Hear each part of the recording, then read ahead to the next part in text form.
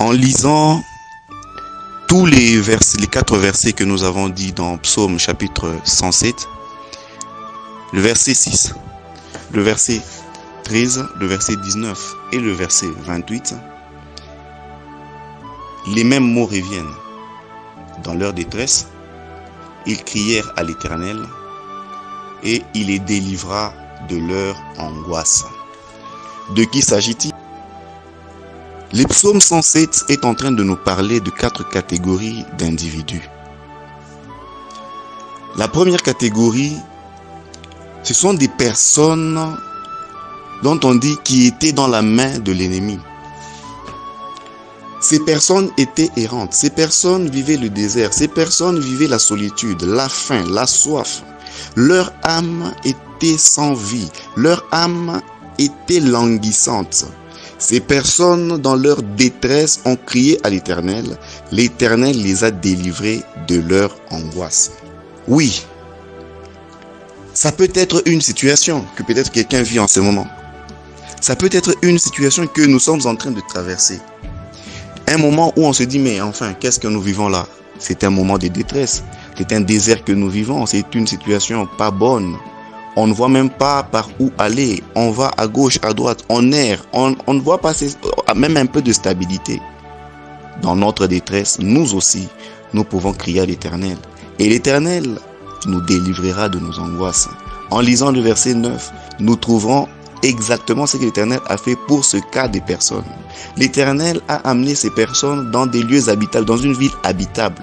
L'Éternel, pour nous, ça peut être peut-être un changement même d'environnement. Il a fait, il peut le faire. Parce que pour eux, voici, on dit, il les a conduits dans une ville habitable. L'Éternel a aussi donné satisfaction à leur âme qui était altérée. Il a donné ce qui manquait à leur vie. La soif qu'ils avaient, ils ont trouvé, ils, ont pu l'étancher parce que l'Éternel a pu intervenir. La, la, deuxième catégorie des personnes que nous trouvons là, ce sont des personnes qui demeurent dans les ténèbres. La version Semeur est en train de parler en disant ceci, quand vous, lisez à partir du verset 10. Elle dit ces personnes vivez dans, dans d'épaisses ténèbres. Les ténèbres peuvent représenter les puissances de sorcellerie.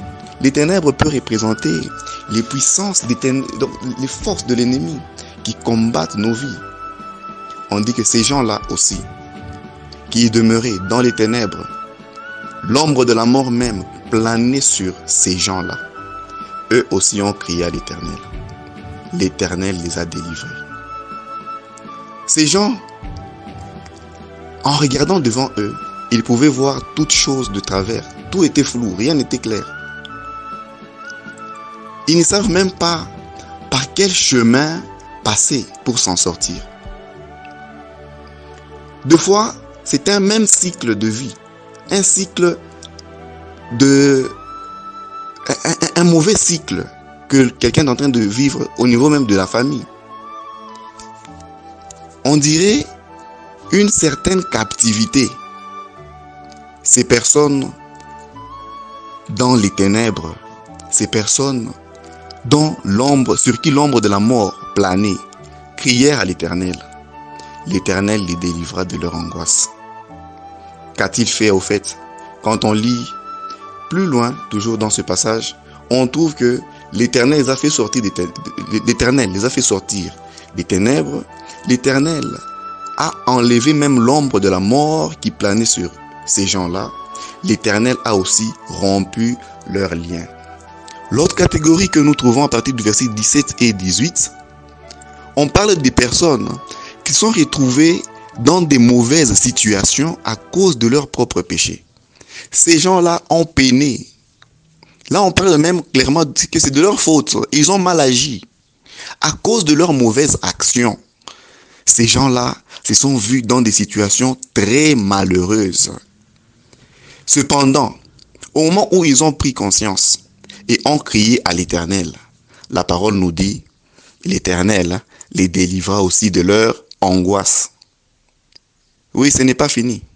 Ce n'est pas fini. Quelqu'un pourrait se dire, non, non, voici, c'est parce que j'avais fait ceci ou cela. Aujourd'hui, ce mois de septembre, l'Éternel a dit, oui, des temps de rafraîchissement, voici, je vous les amène. J'amène, je vous annonce des temps de rafraîchissement. Mais voici quelqu'un d'autre qui se tient en te disant, non, non,